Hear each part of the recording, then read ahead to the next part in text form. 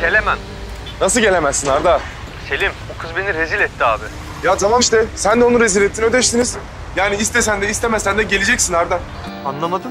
Hani Şebnem diyor ya daha acısız intihar şekilleri var. Anlatabildim mi? Asıl sen beni anlamadın galiba. Gelmiyorum. Nokta. Bak şu an sabrımın dibini sığırıyorum Arda. Çok fena olacak. Allah aşkına ne olacak?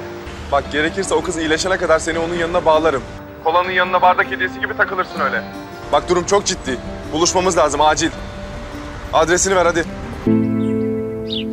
Alo, baba nasılsın? Ben de iyiyim, sağ ol.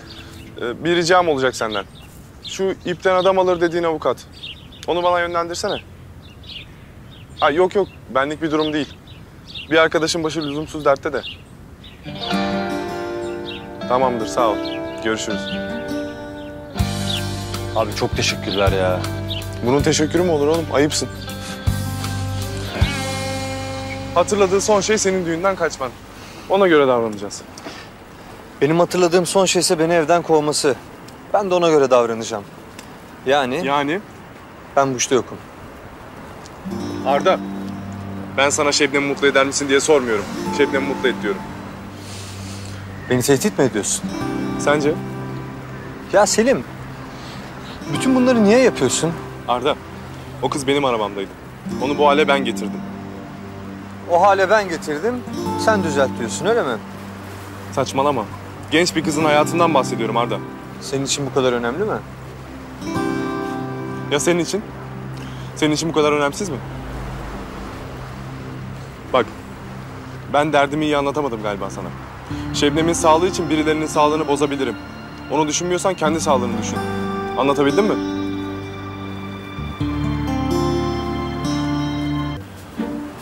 Neyse, geç oldu. Yarın yapacaklarının listesini sana mesaj atarım. Yarın görüşürüz. Görüşürüz değil mi? Güzel. Görüşürüz o zaman.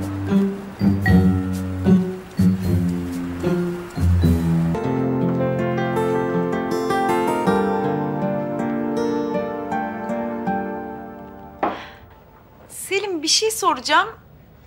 Ama nasıl sorsam bilmiyorum. Dümdüz sor işte. Şimdi senin Şebnem için tüm bu çaban. Yani baya baya Arda'yı geri getirdim diyorsun. O an orada olsaydınız siz de aynısını yapardınız. Zor bir durum tabii. Yani şimdi şöyle bir gerçek var ki Şebnem geçen gün benim gözümün önünde Arda'yı kovdu.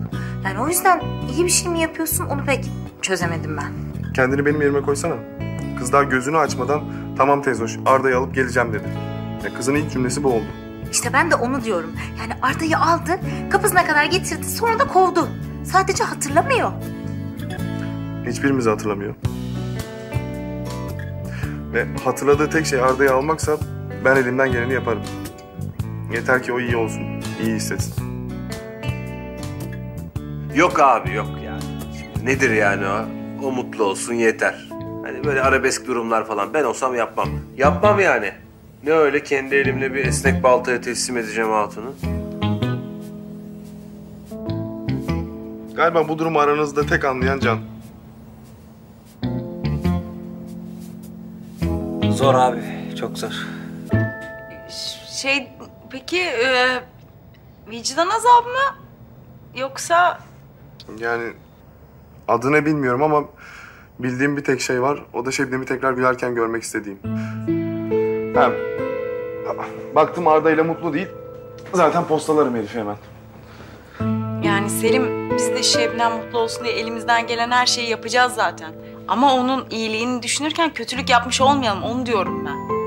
Yani Şebnem'in mutluluğunun karşılığı Arda'ysa Şebnem zaten eski Şebnem değildir.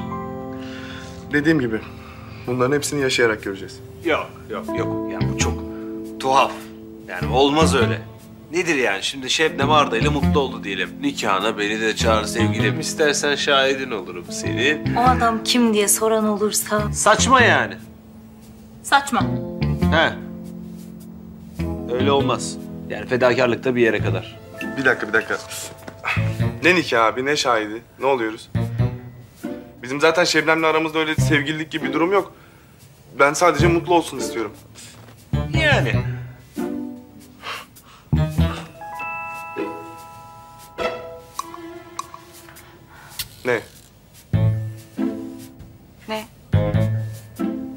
Yalan mı söylüyorum yani? Ne, ne bakıyorsunuz öyle birbirinize? Yok canım şey. Şey yok. Özgür bakma öyle. Ver şu portakal suyunu. Buyurun damat bey pardon.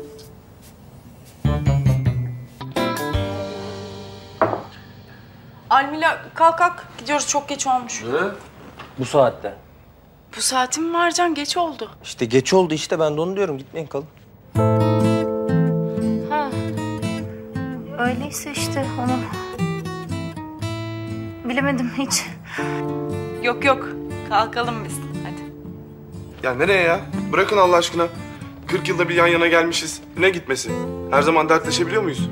Hem siz yukarıda yatarsınız biz uykumuz gelince buraya kıvrılırız. Nedir yani? Yani. Yani. E siz alışıksınız zaten. Yani elin İngiliz'i için burada yatıyorsunuz da. Bizim için mi yatmayacaksınız değil mi?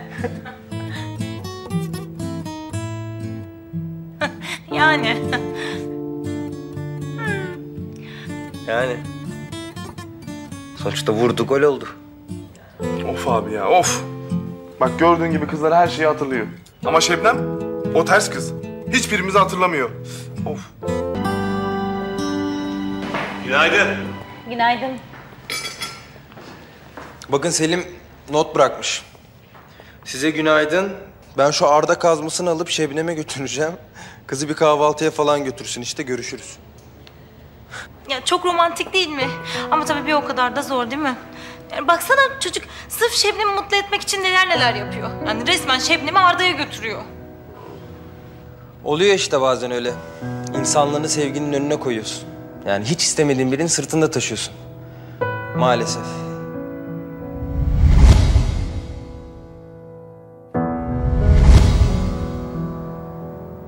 Peki Selim bu zamana kadar Şebnem'e düzgün bir şey söylemiş mi?